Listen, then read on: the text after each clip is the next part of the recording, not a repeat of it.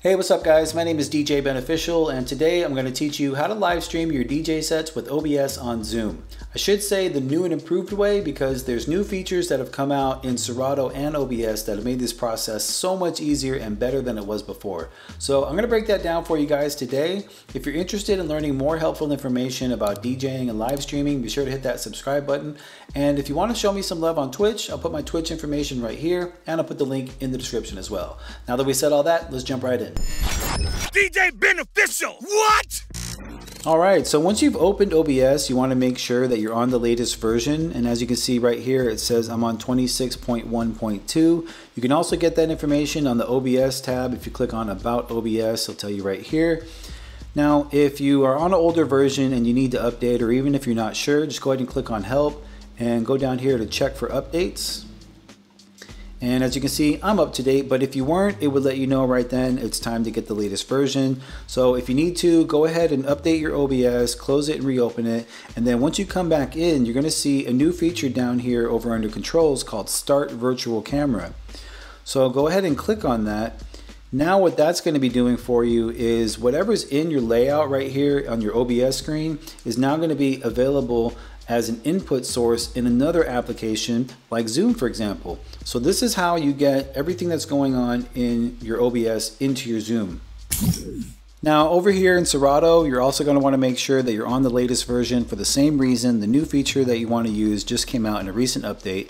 So what we're going to do is click on the gear over here in the top right and then scroll over here to the bottom left and as you can see it tells you what version you're on. I'm currently on 2.4.5 so if you're not up to date or if you just want to make sure, go ahead and click on check for updates. Now, if you are up to date, this is what it's going to tell you. But if you're not, it's going to tell you that it's time to update. So same thing as before, just go ahead and update your Serato, close it and reopen it. And then come back over here, go back into settings and click on the audio tab this time.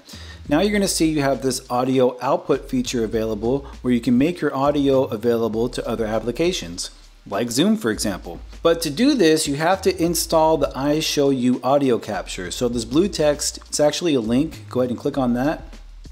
That'll take you right where you need to go. Just scroll down a little bit. Right here under installing the VAD, as you can see, there's an option for Mac and an option for Windows. Since I'm a Mac user, I'm gonna click on how to install the iShowU audio capture. And that takes you right here and you have two options to choose from, download installer or Catalina to Go here. Um, it's pretty straightforward. I think download installer is if you're on Big Sur, but you shouldn't be on Big Sur yet anyways, because I know as of the date of this video, it's not compatible yet with Serato. So with the rest of us, we're gonna click on Catalina Go here. And as you can see, whether you have Catalina or Mojave, either one, this will work for you. And just go ahead and click the downloader. Go ahead and install that to your computer. Now I've already done this, so I don't need to install it again. But you know, just go ahead and install that to your computer and close and reopen your Serato. And now you're gonna be able to check this box. Now one thing that is important to know, every time you close your Serato and reopen it, it automatically unchecks this box. So don't just think you can jump back in your Serato, go and live stream because you're gonna have no audio. You wanna make sure that every time you reopen your Serato, you check this box again. It's very important. All right, so real quick, back to OBS. So let's say you're done designing your layout, you've added your background, you've added your camera source, you've added your overlay, and you're almost ready to go. You just need to add your audio. Right down here under sources, we're gonna add an audio input capture. And let's call this one Serato Audio. Now when you go to pick your device, you're gonna see the iShowU audio capture as an available source. So go ahead and select that, then press OK. So now what's happening is your audio is being sent directly from your Serato to your OBS without you needing to run any cables from your mixer going out to an audio input capture device to get it back in your computer. You don't need to do that. You don't need to iRig. That whole step in the process is now no longer necessary. Now that we covered all that, let's go ahead and get all of this incorporated into our Zoom. All right, now once you have Zoom open, we're gonna start a new meeting by clicking on the orange camera icon.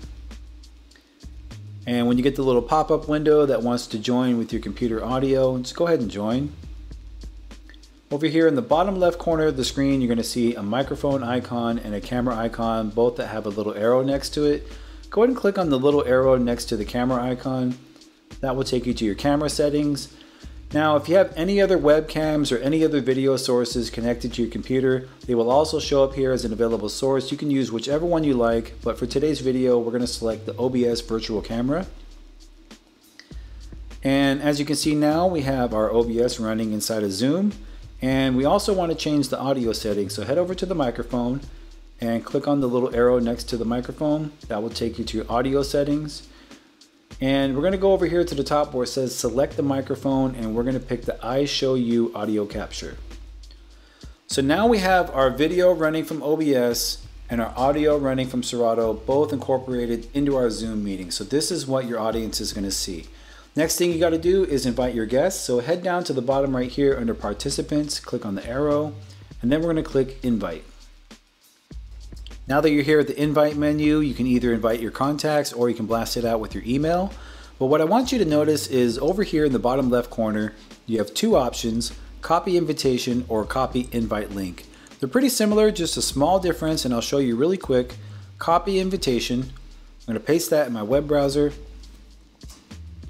And you're gonna see here, it says join Zoom meeting and then has the link. So that's what the difference is. If you go over here to just copy invite link, paste that in your web browser and hit return. It's going to take you right to the Zoom meeting. So that's really up to you. I just wanted to show you that there's a little difference there. All right, now let's say you want all of your guests to have the information and have the link before you even get started. You want to go over here and hit schedule. That will open up your scheduling window. Under topic, that's basically the title for your event. So you can rename that to Brittany's Birthday Bash or DJ Workshop or whatever information that pertains to your event. Date and time is pretty straightforward. It's just the date and time you're going to start and the date and time you're going to finish. Under security, you want to make sure that waiting room is checked in. What that does is allows people to sign in before you start your broadcast, puts them in a waiting room so that way from the moment you start your broadcast, everybody's already there with you instead of starting your broadcast and waiting for people to trickle in. So in my opinion, I'd rather leave that one checked in. That's up to you though. And video, you're definitely going to want to have host on. Now, as for participants, you have the option of on or off. Now, if it's off, they're only going to be able to see whatever it is that you're displaying from your OBS. If you have it on, then they get that social view where they can see all the other people that are in the chat room. So that one's really up to you if you want everyone to be able to see each other or not. Under calendar, you have the option of iCal, Google Calendar, and other calendars. I'm going to leave it on Google Calendar. And you're definitely going to want to look at these advanced options. So the first one is allow participants to join anytime. You definitely want that. You want them to be able to come in. And mute participants upon entry, I would also check that one too because some people will come in, they're going to have their speakers on their microphone on and it can create feedback that everyone's going to hear. It's really annoying. So just make sure everybody's muted if they want to come in. And automatically record meeting on the local computer. That one's up to you if you want to create a backup of your event and just record everything that happened. And this other one, approve or block entry for users from specific countries or regions. That one's up to you as well. I'll let you decide if you need that one or not. Once you have everything set up the way you want, go ahead and click save.